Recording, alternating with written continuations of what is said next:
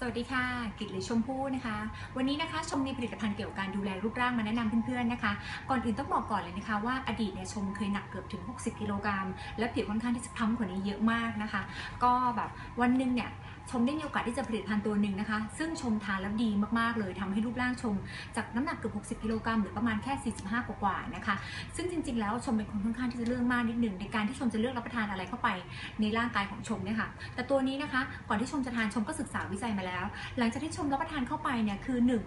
ความพึงพอใจของชมนะคะ น้ำหนักลดลงและชมใช้ชีวิตปกติใจไม่สั่นไม่เป็นอะไรเลยไม่ปวดหัวนะคะ ก็ทานแล้วดีลดลงมาเยอะ แล้วก็ที่สำคัญนะคะ ตัวนี้ทาน 1 ได้ถึง 2 เป็นทั้งลดน้ำหนักและบวก detox two in one เพราะชมเป็นคนที่ระบบขับถ่ายไม่ค่อยดีเท่าไหร่ ก็คือตัวนี้ค่ะโซลินค่ะโซลินคืออะไรโซลินคือผลิตภัณฑ์ที่ดูแลรูปร่างนะคะ ช่วยเกี่ยวกับเรื่องน้ำหนักแล้วก็การดีท็อกไปในตัวนะคะ คือสำหรับใครที่แบบว่าต้องการที่ลดน้ำหนักแล้วต้องการที่แบบช่วยในเรื่องระบบขับถ่าย ชมแนะนำให้ทานตัวนี้เลยนะคะ โซลินทานยังไงแกะออกมานะคะ ก็จะเป็นซองแบบนี้นะคะ ในซองแบบนี้1ซองก็จะมี 2 แผง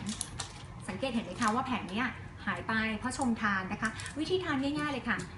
วิธีทานนะคะคือทานแค่มื้อละ 1 เม็ดก่อนอาหาร 15 นาทีนะคะ มื้อละ 1 เม็ดก่อนอาหาร 15 นาที สูงสุดทานได้วันละถึง 3 เม็ดเลยค่ะเช้ากลางวันเย็นทานได้เลยค่ะ แค่นี้คุณก็มีหุ่นดีง่ายๆด้วยผลิตภัณฑ์โซลินค่ะ